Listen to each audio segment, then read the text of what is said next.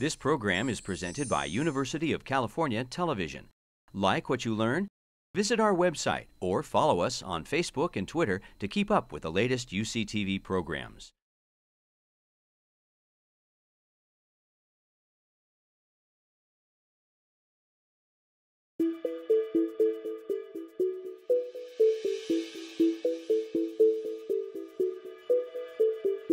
How did the entire world get this fat this fast? Did everyone just become a bunch of gluttons and sloths?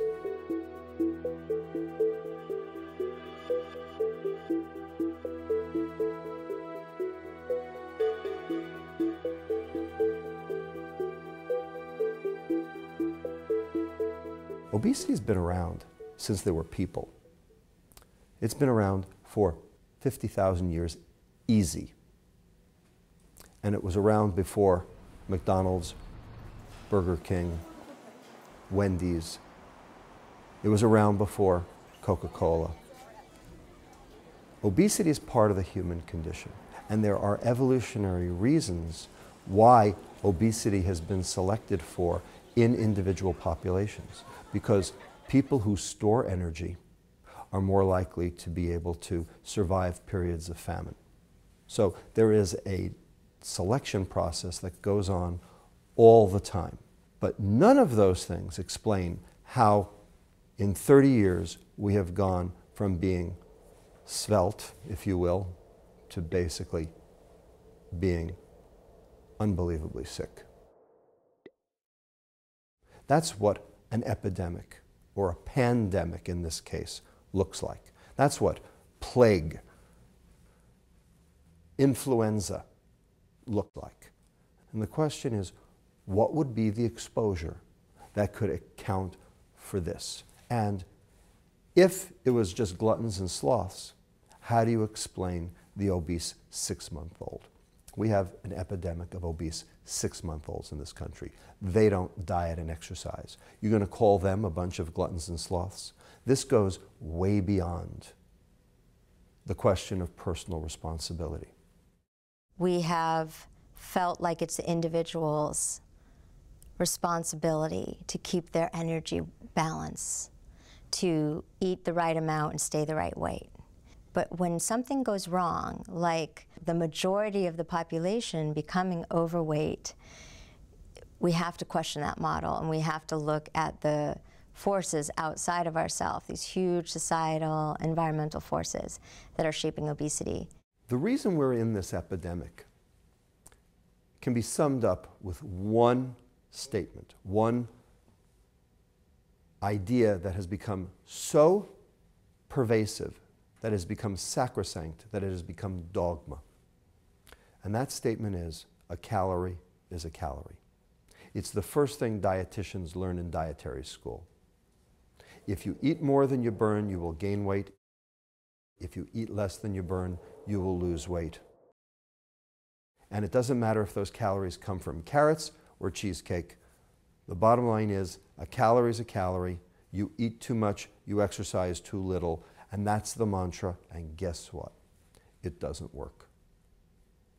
And the reason it doesn't work is because a calorie is not a calorie. The only dogma is there is none. Choose your favorite hypothesis. There's so many. Well, you know, what is it in our environment? Is it just the excess of food? Is it the high fructose corn syrup?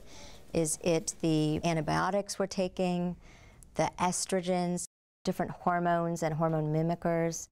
Is it the intrauterine environment? All of these factors play a role. So it is not just one thing.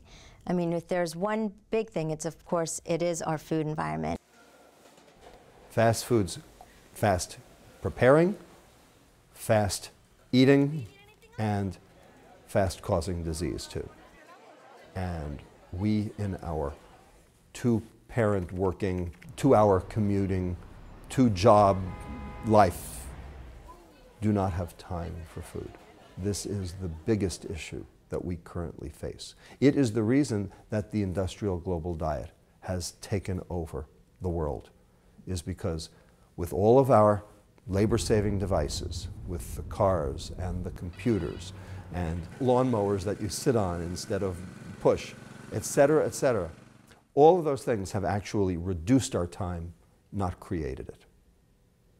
So, this is a function of the changes that we have made in our society, ostensibly for our benefit. The question is, are they? Well, there's been a number of changes um, in the last 30 years in how we interact with food, with our food supply. There's over 24,000 different foods that enter the marketplace every year. Then there's the issue of sleep patterning, stress, how we feed our animals, the nutrients in the soil. There's a number of, of different issues at play.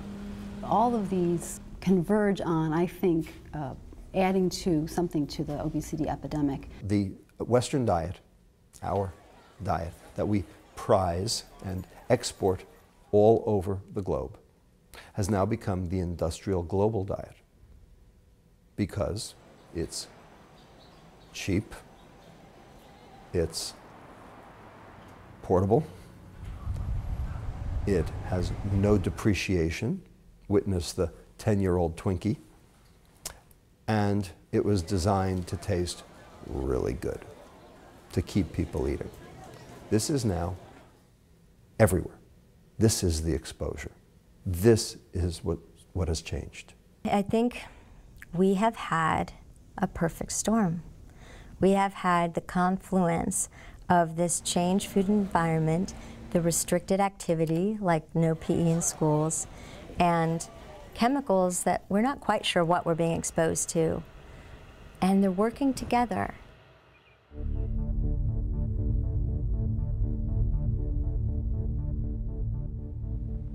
Boy, does that look good. But honey, what'll these calories do to my waistline? Relax, it's diet delight.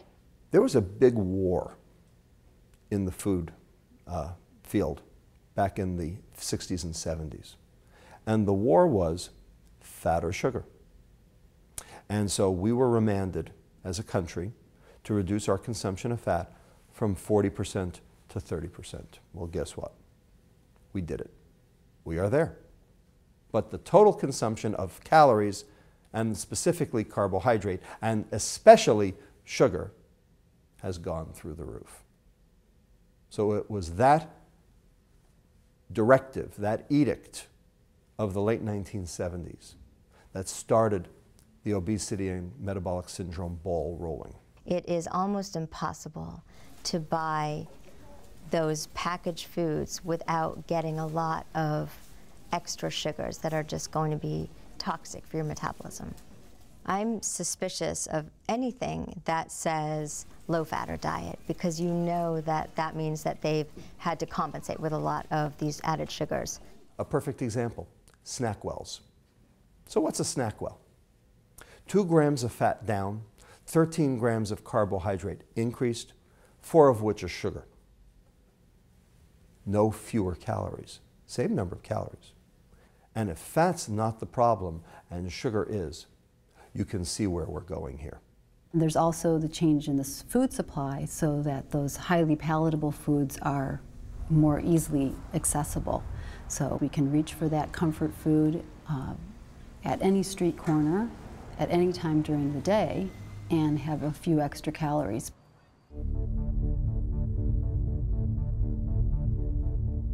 When we talk about the diseases of obesity, we are talking about type 2 diabetes, hypertension, lipid problems, so blood fats, if you will, heart disease. Those are sort of the big four, if you will, that constitute what we classically call the metabolic syndrome. However, we now know that there are several other diseases that fall within this scope as well.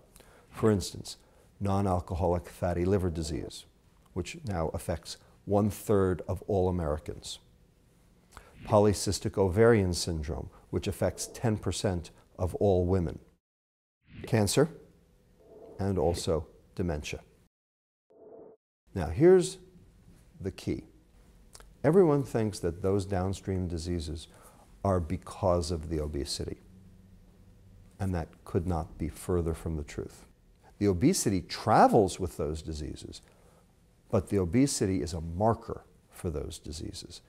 20% of obese people have a completely normal cellular metabolism, and they will live to a normal age. 40% of thin people, normal weight people, have those same chronic metabolic diseases and will die of them. Nobody dies of the obesity per se.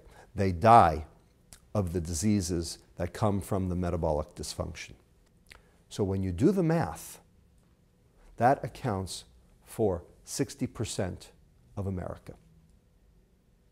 We are not talking about a minority, we are talking about the majority.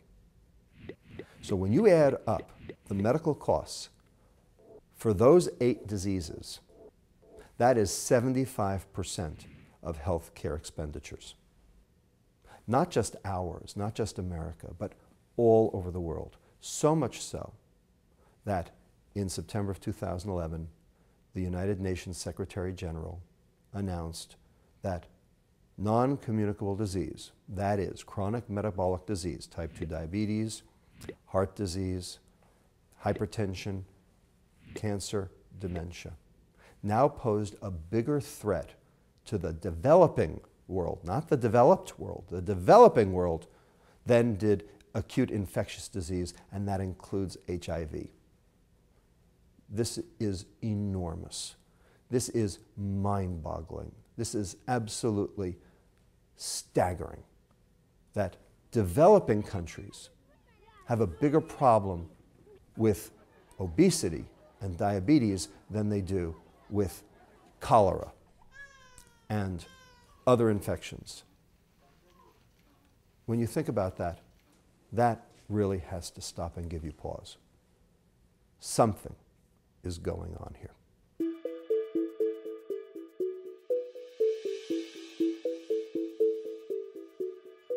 There are a lot of arrows these days pointing to sugar, refined sugar, high fructose corn syrup, that these are really causing some pretty wacky metabolism that didn't exist when we were eating more of the complex carbohydrates. We've done a recent analysis of the Food and Agriculture Organization database. We've linked it to the International Diabetes Federation database, country by country. And what we have found is that while total calories do explain an increase in diabetes rates around the world, the effect size is very small. But when you start breaking it down by what those calories are, turns out the only one that correlates with the increase is sugar. A calorie is not a calorie. Sugar is 50 times more potent than total calories in explaining diabetes rates worldwide. When we started putting fat and carbohydrate on the same plate in the 1700s, we became gourmets. In the 20th century, when we started putting fat and carbohydrate in the same food, we became gourmands. It's when you put fat and carbohydrate together that they don't work. And sugar, because of its unique composition, is the only food on the planet that is both fat and carbohydrate at the same time. Even fatty fruits, coconut, olive, avocado, have no carbohydrate. There is no food stuff on this planet that has both fat and carbohydrate at the same time. It's one or the other because that's evolution, that's nature, that's what God did, except for sugar.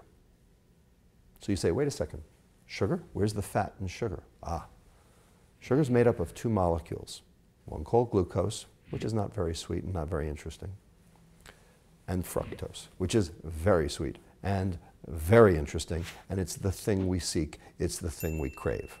And they are not the same. Glucose and fructose are very different. Glucose is metabolized by all the organs in the body.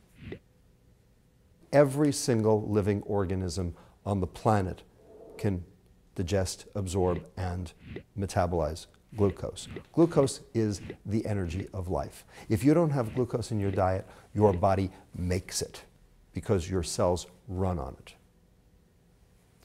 And 80% of the carbohydrate, glucose, that you consume is metabolized by all the organs in the body. Only 20% go to the liver. Fructose, on the other hand, is not glucose. Fructose can only be metabolized in the liver because only the liver has the transporter for fructose. All of the fructose goes to the liver. So you're overloading your liver. That's the rub. The fructose goes straight to the mitochondria, gets turned to fat. The little bit of glucose goes to glycogen until it's replete, and then it goes to fat as well. And you have a recipe for mitochondrial meltdown, mitochondrial constipation, mitochondrial disease. And when you have mitochondrial disease, you get sick. Fructose is a chronic, dose dependent hepatotoxin, liver toxin, which is just like alcohol. In fact, fructose, the sweet part of sugar, is more like alcohol than it is anything else.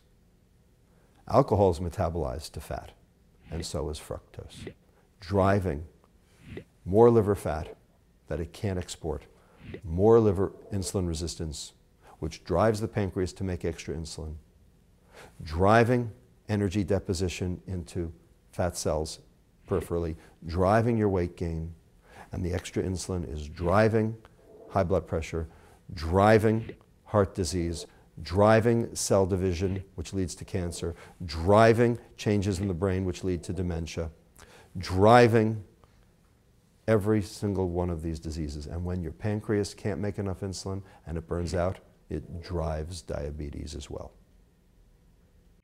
And if you look at the diseases of alcohol and the diseases of sugar and obesity, they are the same. Now, fructose and alcohol can both be nutrients. They supply energy. They're natural.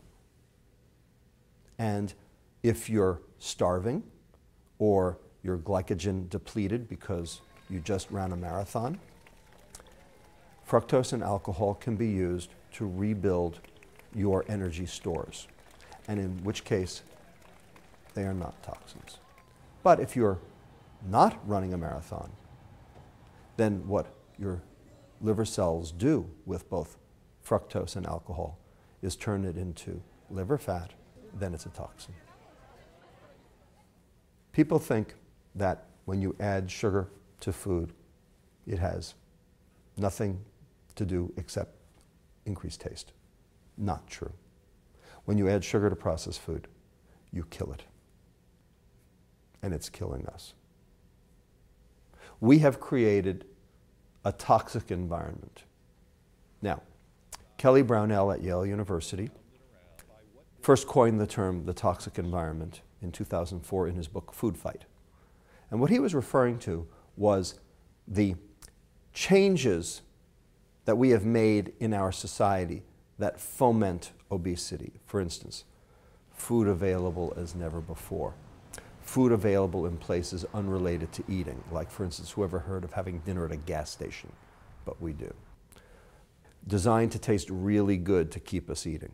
All of these are absolutely true, and all of these are very important in terms of the obesity epidemic, and I do not make light of them. They are important, but what we're talking about here, when we talk about the toxic environment, is real toxins, real poisons, things that actually damage your mitochondria and make you sick. That's what I'm talking about. This is about something that we are exposed to, that is going on worldwide, that has changed in 30 years. And there's only one thing that has, and it's sugar.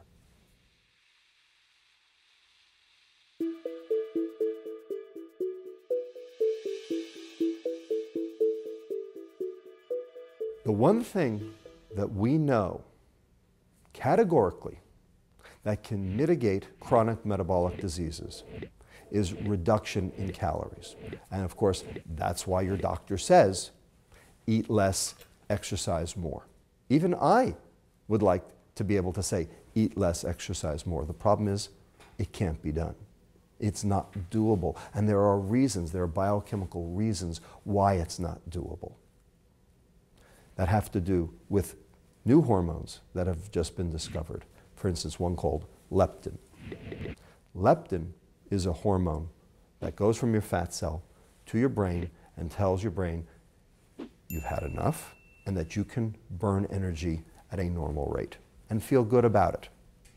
It limits what you eat and it lets you exercise spontaneously because you want to. Obesity, you have high levels of leptin because you have lots of fat because it comes from the fat cell. But if leptin were doing its job, then you wouldn't be obese. So, how do you explain high levels of leptin and still eating too much? Clearly, the leptin is not doing its job. And we call that leptin resistance. And discovering the cause of leptin resistance is the holy grail of obesity research. It is the nugget of truth that we all seek. How come leptin used to work 30 years ago and doesn't work today? That's what it's all about in a nutshell. And our research has demonstrated some very specific, significant findings. And I can sum it up in one word insulin. Now, everyone knows insulin. Everyone knows it's the diabetes hormone. Diabetics take shots of insulin to lower their blood sugar. Indeed. So let's take a diabetic off the street, any diabetic. Blood sugar is 300, that's high. We give that diabetic a shot of insulin. Blood sugar goes from 300 down to 100. That's good, right? Blood sugar went down by 200 points. Where'd the 200 points of blood sugar go? They were in the blood, now they're not. They went somewhere. They went to the fat for storage. That's insulin's job. That's not a mistake. That's what it's supposed to do. Insulin shunts sugar to fat. Period.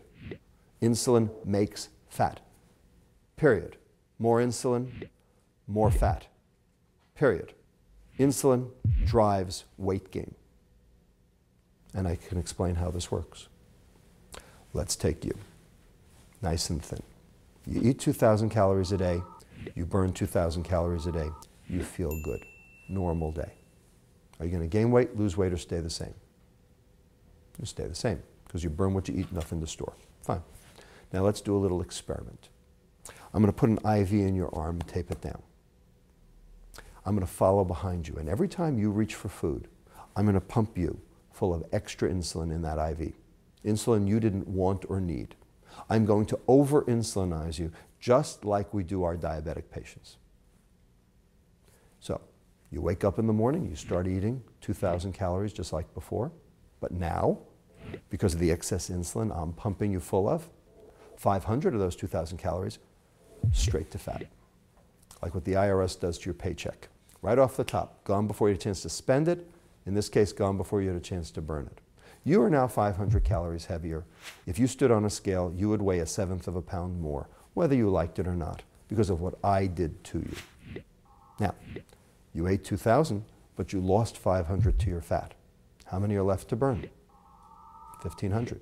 Except for one thing, your body wants to burn 2,000 because that's where it feels good. And how many calories you burn and how good you feel are synonymous.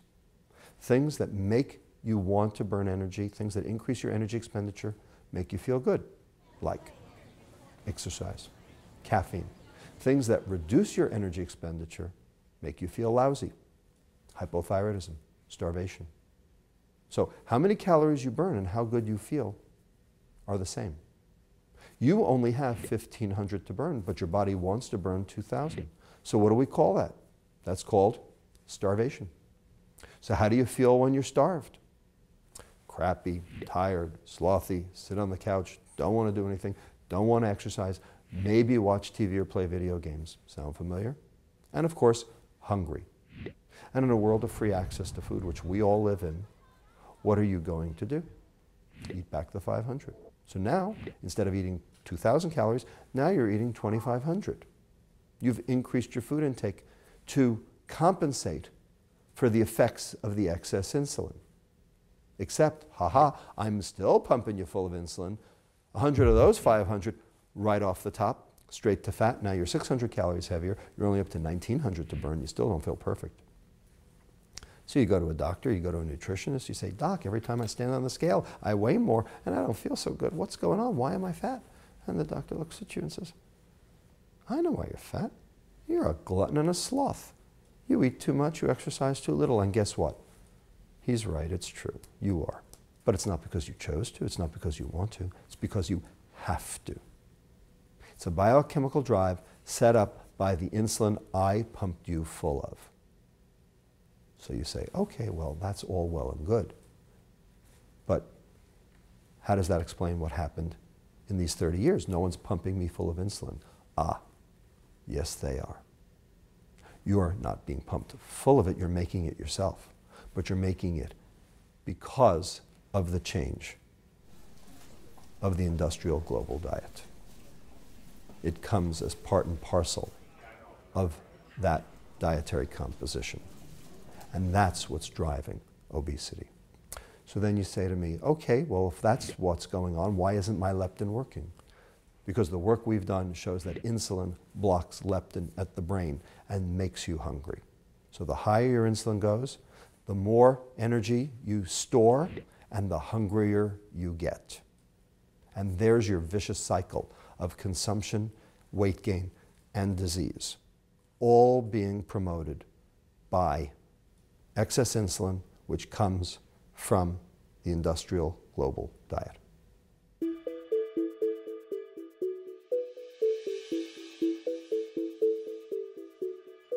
Why are we eating more? What happened to make us eat more? We had this exquisite system, very sensitive system called leptin, that allowed us to modulate our total food intake for 50,000 years or more. And then all of a sudden, in 30 years, the thing's broken seemingly beyond repair. How can we eat more than we're supposed to? And the answer lies in understanding the biochemistry of the brain. Because clearly those signals are not working. So, one signal is the starvation signal, which is clearly not working. And that's leptin. And leptin tells your brain you've had enough and you can burn energy properly. But when you don't get the leptin signal, your brain thinks it's starving. The second way is in the reward system. So there's an area of your brain called the reward center. The scientific name is the nucleus accumbens. And it is the site where dopamine works. Dopamine is a neurotransmitter and it conveys the feeling of pleasure. And pleasure, for lack of a better word, is good. Except that a lot of pleasure, as it turns out, is not.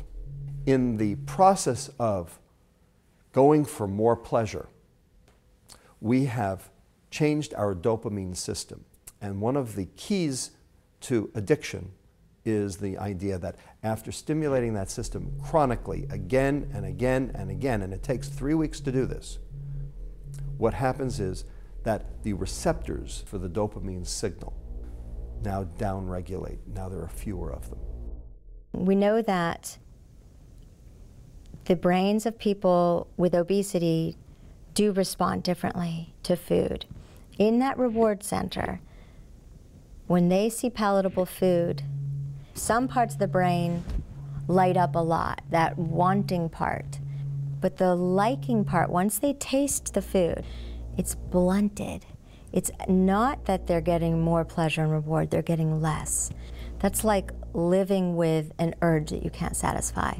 And so people think that this hypo reward condition or this inability to experience the same level of reward from the same foods that other people are getting is causing people to overeat in order to get that dopamine that they're missing. You have to eat more to get the same effect. And that phenomenon is called tolerance. And then when you pull the chemicals that cause the pleasure away, now there's no dopamine and fewer receptors, and that gives you symptoms of withdrawal. So tolerance and withdrawal are the hallmarks of addiction. We know that this occurs with nicotine. That's why we have tobacco addiction. We know this occurs with alcohol. We know this occurs with cocaine, morphine, cannabis. It occurs with every single drug of abuse. And it occurs with sugar too. And that's relatively new data that has come out in, say, the last five years, which shows that sugar specifically downregulates the same factors, the same receptors in that nucleus accumbens, in the reward center, as does all of these other addictive, abusive compounds. Addiction's a strong word, but it might be a really helpful word to push us to recognize the power of certain food on the brain. There is some evidence that becoming obese does change and blunt that reward system. So we do know that overexposure to McDonald's can cause those brain changes. So food can be just like a drug to certain people who have a certain disposition to addiction. Is it that becoming obese has changed their brain chemistry, or is it that they were born with this predisposition and that caused them to become obese? It's very likely that it's a little of each. No one chooses obesity. Obesity chooses them. You think anyone goes out and says, you know, I think I'll go out and be obese today. There is physiology, there is biochemistry underlying every single behavior. Sleeping behavior, eating behavior, sexual behavior, drinking behavior are all hormonally driven. What we call behavior is not behavior at all. It's the cognitive inhibition on that biochemical drive. And the question is, how long do you think you can exert a cognitive inhibition on a biochemical drive that's going 24 7, 365, getting worse every single day that you don't perform it? No one can exert cognitive inhibition, willpower, over a biochemical drive that goes on every minute of every day of every year. It's just not possible.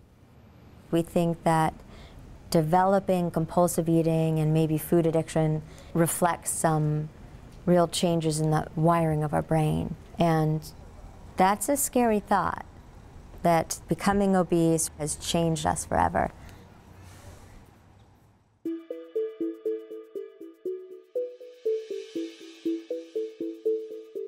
Here we have this epidemic of obese six month olds. And everyone's saying, How is it possible? How can that be? They don't diet and exercise, they just get fed formula or breast milk and they're obese. How is that possible? Well, it's very possible. Number one, you lay down your fat before you're born. And what determines how much fat you lay down? The baby's insulin before they're born. The more insulin, the more fat. And what determines that baby's insulin? The mother's diet. We need to focus on prevention. When does prevention start? In little kids? In kindergarten? No, it's even earlier. Is it about breastfeeding versus giving them the bottle? That's even too late to start there. It starts in the womb. And it starts actually even before conception in the woman's health. And so young women are shaping the future generation's health. They're the gatekeepers. And so we should be putting a lot more effort into promoting a healthy generation of women because they are absolutely shaping the next generation and whether they're coming out all set up for obesity. We know that birth weights have been going up over the last 25 years worldwide. And we know that mother's weight gain during pregnancy, which has also been going up, translates into babies' adiposity, babies' fat stores. So fat cells like to get filled. As soon as they're out, they're hungry. And we see these kids calling for food at age two months, three months, and the parents don't know where this came from. And it's because they were programmed to do so. So, what happens to a child who had an obese mom? They might have come out of the womb small for their age or low birth weight, but very soon after that, we see how their metabolic calibration is set in this world. It's set so that they are absolutely efficient and thrifty with calories. So they may have catch up growth. They may have a period of rapid growth where all of a sudden they've gone from being small to being plump. And then they're actually at risk for childhood obesity. We used to say if a, a, child was overweight or obese, that didn't necessarily predict that they were going to be an adult that's obese. And now it's starting to track across time. If you have childhood obesity, you're likely to uh, become an obese adult. And if you've had obesity for that long of a duration, you're likely to have early onset of that whole range of obesity related diseases. So it's a trajectory that starts with these young women. And if we can't help women who are obese and high stress, if we cannot help them, then we are absolutely determining the future of their offspring. When a woman enters pregnancy at a higher weight, either overweight or obese, she's more likely to gain either inadequate weight or excessive weight per the Institute of Medicine guidelines. So if women are gaining excessive weight and they're already at high weights, this is bad for the woman. She's more likely to have a cesarean section. She's more likely to have um, gestational diabetes, for example. And it puts the fetus at risk because the fetus then can suffer growth retardation or be born with at a large birth weight. So pregnancy is another period that I think as a society we need to rally around and bolster up women's both mental and physical health because that is a short little window where we can dramatically influence the outcomes. The other change that I would suggest is that we think about obesity prevention starting with women of childbearing age women who are not even pregnant yet because they are shaping health of our future generations. As a girl matures, we know that obesity is influencing younger ages of puberty and the need to develop and mature and go through her own reproduction will influence hanging on to calories and hanging on to fat. If they are obese, they are already programming the new little ones that are coming to the world to be set up for obesity and early disease. We know that people are dying younger. We've actually seen it now in the data. This last year, 2009 to 2010, we saw a decline in mean lifespan of three months. The first time in the history of the world where lifespan started to go down instead of up. So, this is the gift that keeps on giving. And this can actually be transmitted from generation to generation.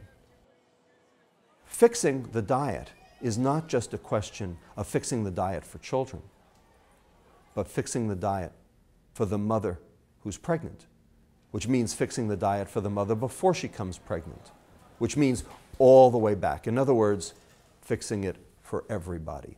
That is a public health intervention.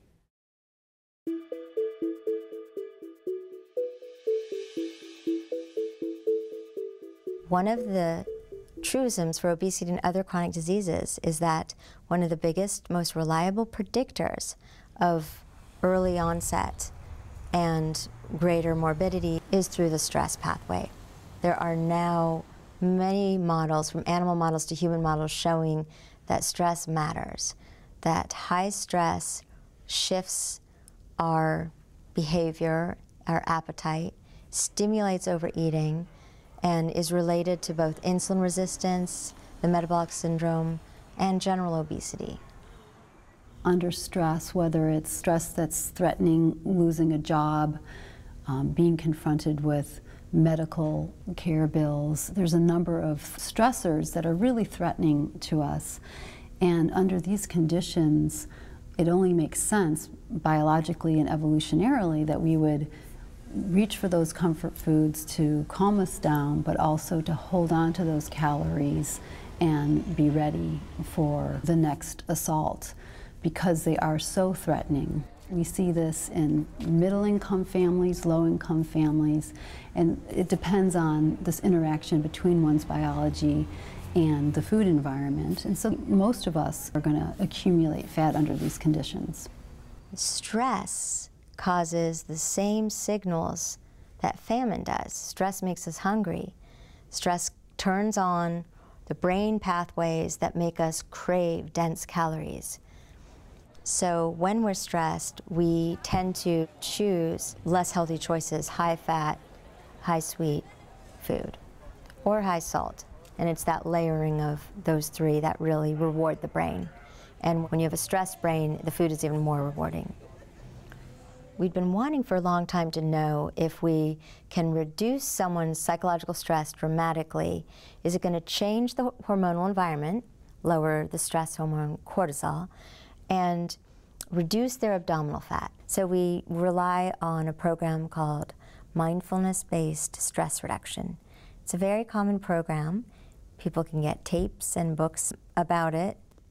We train people to in a sense, change their mental filter by being more mindful and paying attention to the moment and noticing those thoughts when they start worrying or catastrophizing.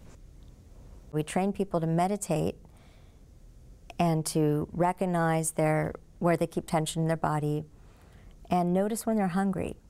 So they're really in tune with their physical state, which is a skill that most of us don't have, easy to develop, but certainly we're kind of numb from the head down. We don't really notice what our body's telling us. So we did this study where we did not ask anyone to cut calories or start exercising more. And so we didn't expect their actual weight on the scale to change. But if, if they really reduced their cortisol, would their fat distribution change? Would they remodel their fat stores away from the belly, maybe more toward the hips, the more estrogenic fat? So that was our hypothesis for this study. And we had wonderful volunteers from the community who really got the idea this was not a diet, this was a way to change their relationship with food. And believe me, that was a welcome message because people have tried dieting, many types of diets. They most always gain all of their weight back eventually. And so this short term dieting is not appealing to a lot of people anymore. So we had some, a group of women who were committed to this idea that we weren't going to ask them to go on a diet, we were going to ask them to eat differently and notice the process of eating and change their relationship with food. So before meals, people checked in and really figured out how hungry they were and what feelings they were having. And that really sets them up to eat in response to hunger rather than emotions, and to eat as much as they need. A reasonable meal while noticing the experience, the pleasure, and the fullness. So it's really much more of a conscious experience rather than eating kind of automatically and habitually, and then it's gone, and we didn't even really notice that we were eating.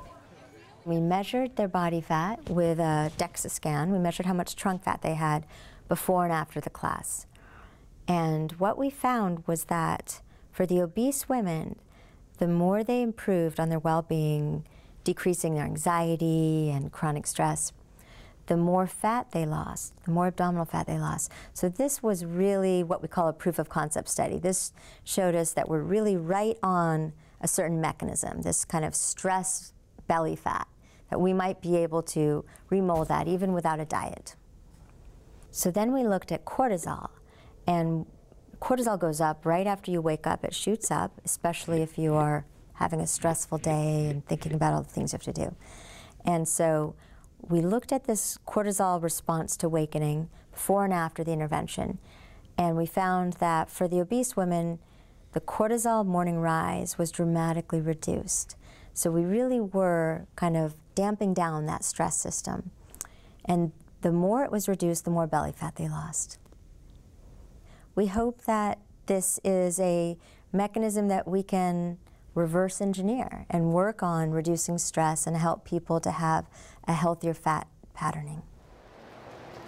Many Americans are under stress and we know that that influences eating behaviors. Now we know that it influences metabolism. If we can bring this to the forefront of people's awareness, understanding how our bodies are conditioned to overeat highly palatable food, and especially when we're stressed, that's the first step to changing it.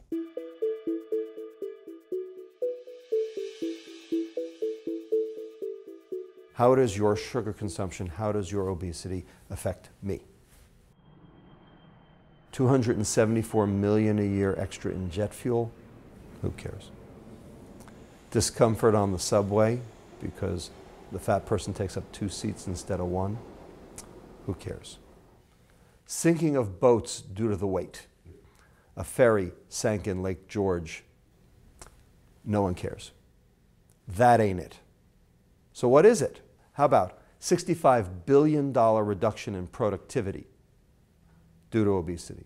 How about 50% increase in absenteeism due to obesity? How about $147 billion in healthcare costs due to the metabolic syndrome? How about three surgeons general and the chairman of the Joint Chiefs of Staff have declared obesity a threat to national security because people who try to join the armed forces are turned away because of obesity. Does that affect you? Yes, your obesity affects me. Even if you're not obese, you are dramatically affected in every way by our society having an epidemic of obesity. And it's affecting the economic balance. It's, it's almost like a, an energy balance on an individual level that has gone to a societal level that permeates both the economic and environmental kind of medium that we all live in and are affected by on a daily basis. The one thing I do know is that we cannot control behavior. We never have, and we never will. There is physiology, there is biochemistry underlying every single behavior. Bottom line, we can't control behavior. We never could. When it comes down to it, our hard wiring, our evolutionary biology that determines our survival and our energy balance, it uh, overrides our volition and our will in many cases. And obesity is a perfect example of that because when people get in front of a highly palatable food environment, the brain sends the strongest signals it has for us to quickly and impulsively eat that highly palatable food. So I think that part of the solution is that we have to realize it's not up to the individual, it's up to us as a society. And we absolutely need food policy changes. The, e the economics of food determine how fat our cells are. The fact is, we've had numerous public health measures that have been imposed upon us.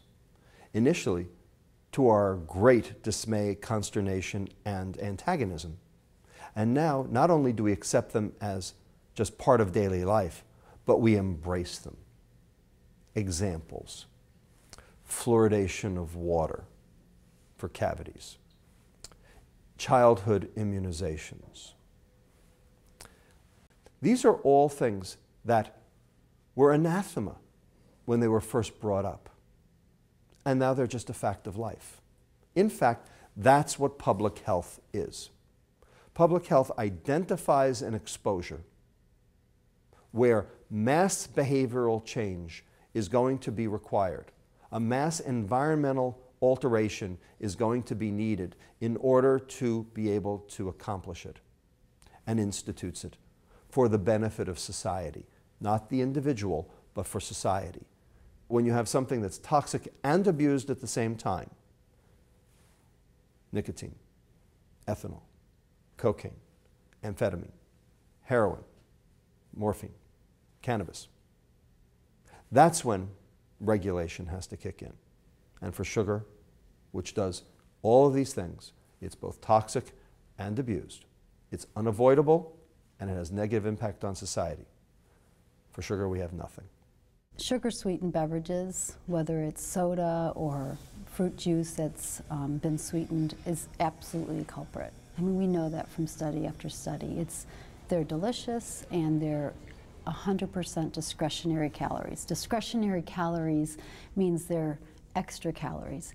And right now, no one in America really has in their caloric budget any discretionary space. None of us need the extra soda.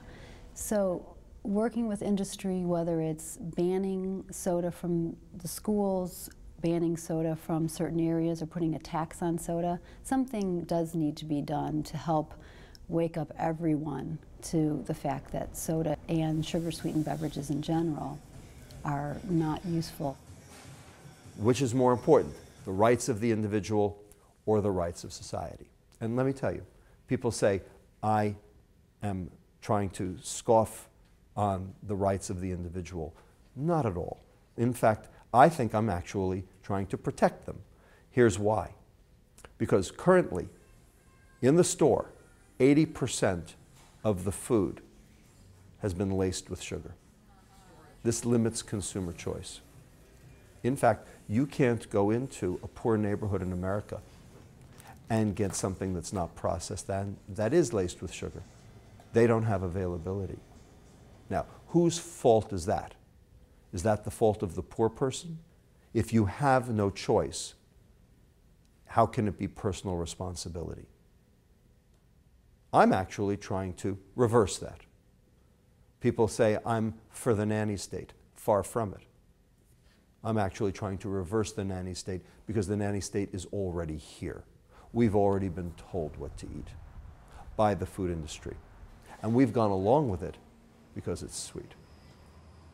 We just need to turn the economics of food and agriculture upside down and completely reverse the incentive system so that we're incentivizing healthy food and sustainable farming and taxing the subsidized food, which is killing us. The corn everywhere, the high fructose corn syrup. Public health officials consider regulation when four criteria are met. Unavoidability, we've got that. Toxicity, I've explained that. Abuse, I've explained that. And finally, number four, negative impact on society, what we in public health call externalities. How does your sugar consumption or your obesity affect me? All the criteria for societal intervention are met.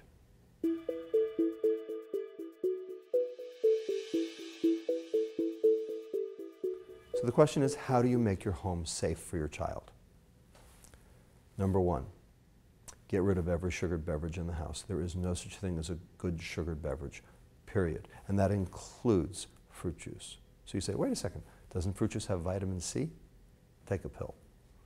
There's enough vitamin C in all the other foods. You do not need the vitamin C in fruit juice. Number two, we need to keep the insulin down. Insulin's the thing that's driving the weight gain. Insulin's the thing that ultimately impacts on leptin's ability to signal. The way to do that is fiber. If you eat your carbohydrate with fiber, you will lessen the insulin response. Your insulin won't go up as high because your blood sugar won't go up as high. How do you do that? You look at the side of the package. and where it says dietary fiber. If it's a solid, you want to look at dietary fiber, you want three grams of fiber or greater. Next, wait 20 minutes for second portions. Kid comes to you, and says, I'm hungry. You give him a plate of food. Kid eats the whole plate of food, says, I'm still hungry. You look at the kid, and say, How can you be hungry? You just ate a whole plate of food. But the kid is.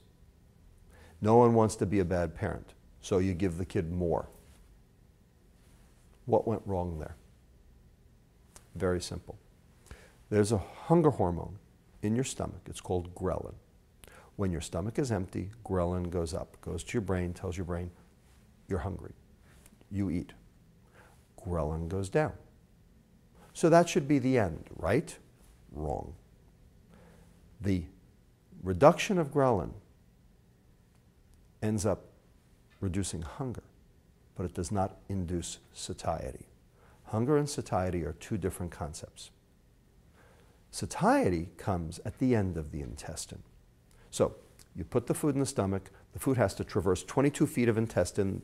The move, food moves through the intestine through movement of the uh, muscles of the intestine called peristalsis, gets to the end of the intestine where cells that are specific at the end of the intestine release a hormone called peptide YY, which circulates in the bloodstream, goes to your brain, and tells your hypothalamus, the area which controls eating, that you've had enough. That's it. Meal's over. It takes 22 feet of intestine to get that satiety signal. That takes time. So, the third rule wait 20 minutes for second portions. Let the food work. A way you can move that along so it's not a whole 20 minutes, maybe 18 or 17, eat your food with fiber because fiber makes the food get through the intestine faster. So you can get the satiety signal sooner. And you can save all of those second portion extra calories. And then number four, the hard one, the killer, the definite problem. Buy your screen time with activity. Buy your TV time, your Facebook time, your video game time, your texting time with activity. If you're outside for a half hour, you can have a half hour of TV. If you're riding your bike for an hour, you can have an hour of video games, etc. The problem is that parents are using the TV as the babysitter, and they don't want to give that up. The exercise has to be consistent and sustained. It does not have to be large, but it has to be consistent and sustained, and that is not part of the American diet plan.